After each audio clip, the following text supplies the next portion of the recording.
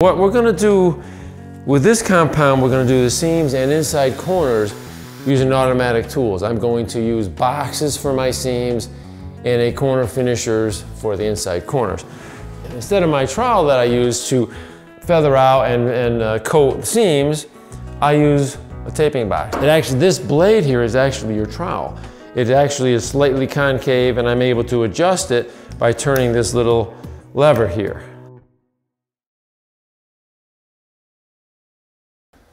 So I'm going to start out by doing that inside corner along the top. Then I'm also going to hit this seam. Go right down this inside corner.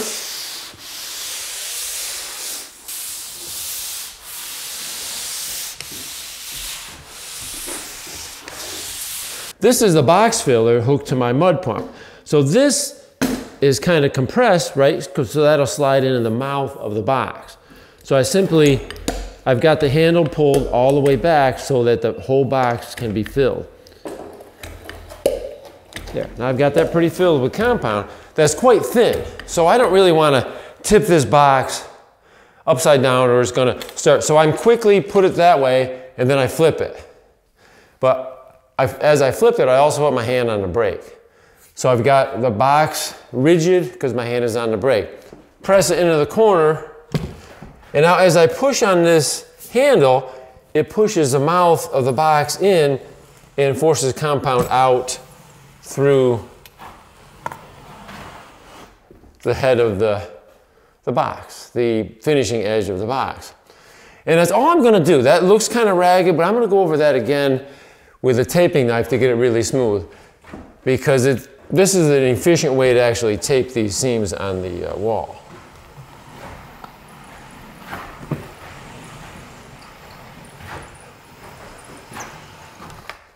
So that's one box full. And I've run that through and I've got it set on like zero. So I'm putting on a little heavier than I want. So I'm gonna turn this to one. So now that's gonna be right where I want it. All my butted seams are back blocks, so they are a slight recess. So because it's concave, I'm gonna use this 10 inch box to put a coat over this seam as well. So I just start right up against the ceiling, putting a lot of pressure on it, pulling it right down. Now, right away I can see that I'm not leaving enough compound, so I'm gonna make an adjustment. I'm gonna turn it to zero again. After I turn to zero, I pull back slightly on that edge, and we'll see what that does. You can see what happened. Now I'm coating the, uh, hiding the tape much better. So that little adjustment ended up being necessary. So same thing here. I'm starting running along the bottom, pulling up. Now because they intersect, I'm gonna have to do a little bit by hand. So I, I take a, my bevel trowel and I've got it nice and clean. Now I'm just gonna pull that right over that seam. See what that does? It makes it look a lot better. I get rid of, I remove some of the compound and I've got it nice and tight, remove most of the air bubbles. So I'm gonna do that on all these seams uh, that I do on the walls. Just gonna pull the trowel along the seam.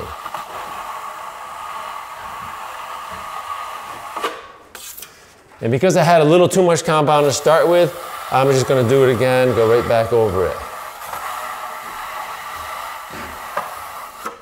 There, that looks really good. Same with this. Start right at the top, pull my trowel down.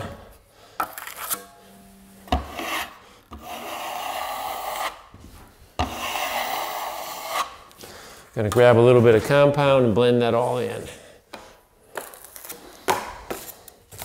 Now what you can do when the butted seams intersect, I could go, I could have done this as soon as I got here this morning. Hit all my butted seams.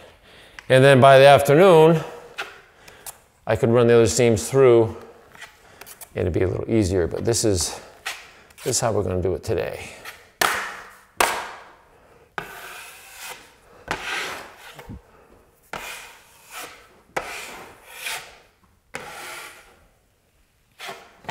All I'm trying to do is blend that in, have it come out pretty good.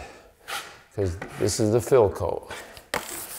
And I'm happy with that. So what I've done, I've, I've, I'm taping the seams before I do the inside corners. So I've got the seams done in this wall. Now I'm gonna move to the ceiling. I'm gonna start boxing the seams on the ceiling. Now I'm just gonna walk right underneath this, keeping it square, centered on that seam. Applying quite a bit of pressure to force that compound out of the box. And that's, that's all I'm gonna get out of one fill. I got about 20 feet. I'm gonna fill it up again, and then I'm gonna finish that seam.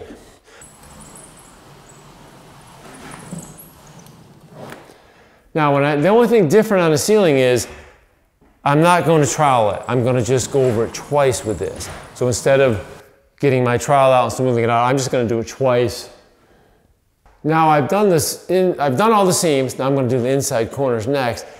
And once I do the inside corners, I'm going to get back on my stilts to point it all up. And when I'm on my stilts is when I'm going to touch up all these butted seam intersections.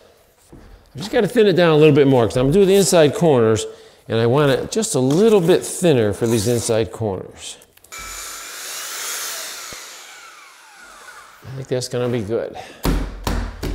So this is the uh, compound tube. I'm gonna fill it with the uh, compound.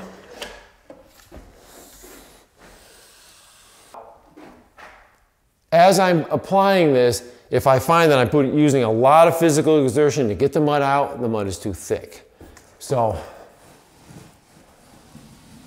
and I think that's pretty good. I'm not working that hard. It's coming out nice.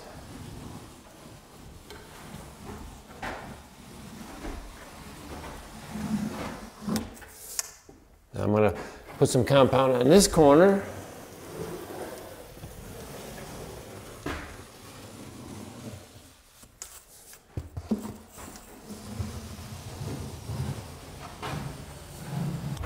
Now I'm going to attach a corner flusher that's a little bit wider than the one I used yesterday. It's probably like three quarters of an inch wider. Put it on, acclimate it by getting a little compound on it. Now once again, I usually go over every one of them twice. So I'll, I'll pull it all the way that edge and then I'm gonna go back and do it again.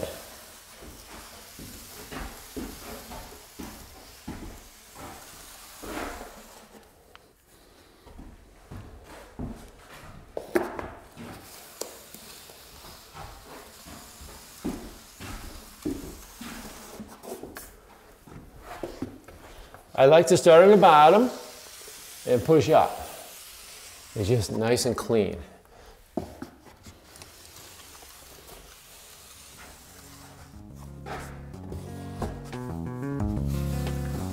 Okay, so I've um, coated all the seams basically in this room and all the inside corners using the automatic tools, the box and the corner finishing tools. It was easy and I got really excellent results. These tools are not complicated to learn. I think the learning curve with, with the box and the corner finishing tools is a lot shorter than it would be with hand tools. And really, it's nice and consistent. That's exactly 10 inches wide, feathered out nicely on each edge, even my inside corners. Both edges are feathered in really nice. It's filled, all the tape is concealed. It's exactly what you're looking for. Really, and it only took minutes for me to do this whole room. But now I have a little bit of work to do. I've got to point up all the corners and I got to blend in the butted seam. So there is always a little bit of touch up with, with the hand tools.